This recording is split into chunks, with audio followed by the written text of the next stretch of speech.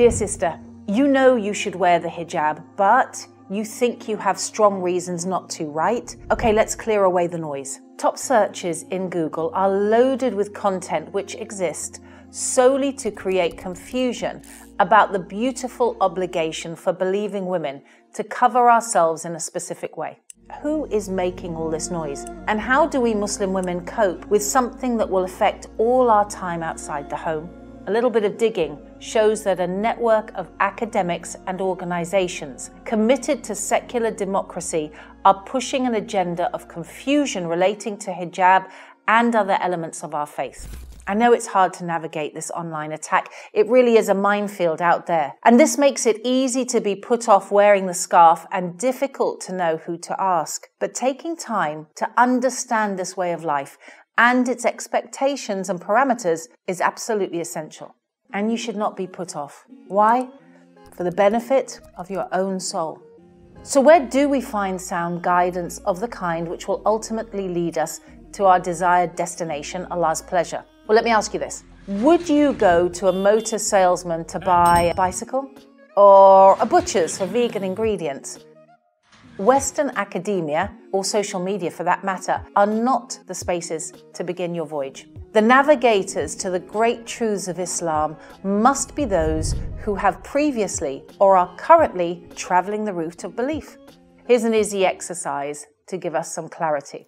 Go to Google now, if you like, and type in female scholar of Islam. Not female lecturers or influencers, please.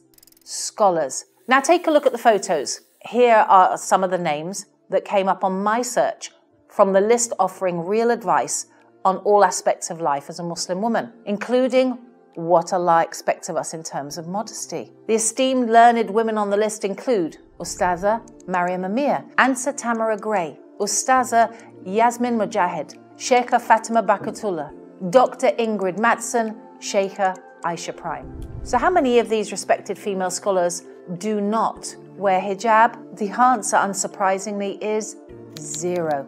And who do our learned sisters take their teaching from? Who are their examples? Are they guided by Harvard professors or Instagram influencers?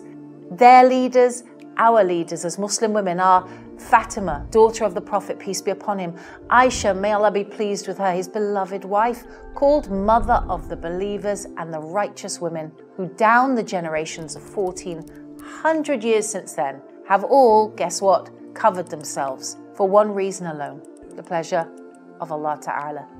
Be careful when asking information on the Holy Quran and our Prophet Muhammad, peace upon him, from those who are not there to guide you to success in faith. Islam is in the doing, the actions, not merely the thinking. But you know what? I hear you. Hijab is a big commitment. It's a huge external signpost of what we believe, and it's there for everyone to see and judge. But know this being beautiful in the eyes of others will never feel as good as being special in the eyes of our Lord. Allah Ta'ala says, O Prophet, tell your wives and your daughters and the women of the believers to lower over themselves a portion of their jilbabs. That is more suitable that they will be known and not be harmed, and ever is Allah forgiving and merciful.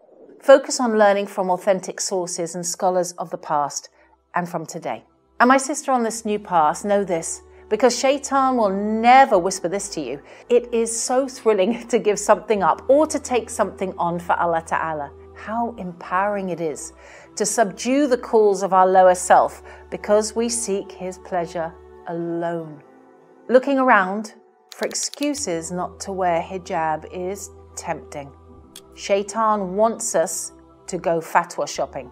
As Muslims, our faith affects our lives far beyond the walls of the mosque or the corners of the prayer mat. Islam is our daily routine from when we wake up and pray Fajr to the final prayer before sleep. Its endorsements affect our interactions, choice of food, pastimes, social venues, friendship groups. Modesty is an important part of this beautiful and complex layering of ethics, which applies to a way of being very different, yes, different from social media culture with its Twitter trolls and TikTok addictions. Studies show that the less Western women wear, if the flesh they show is considered appealing to men in power, of course, the more they can get paid. Allah Ta'ala spares us that humiliation. I want to read you now something by Anse Tamara Gray from her article Lean In, Our Feminist Manifesto, and I link to it below. She says, like a sports team, we recognize each other. Like an ethnic background, we feel comfortable with each other. Like a flag held high in the field of battle, we bravely go out every day in every country of the world and represent our prophet, peace upon him, our religion. We represent our men who too often blend into the background. And we represent our hurting women who need our activism. We represent any woman of faith unsure how to outwardly express her conviction. Hijab, like all acts of duty, comes down to putting the good opinion of Allah Ta'ala above human beings, seeking His love, asking for His mercy, thriving because of His pleasure with us. My message to you, my dear sister, is wear the scarf that you may be known.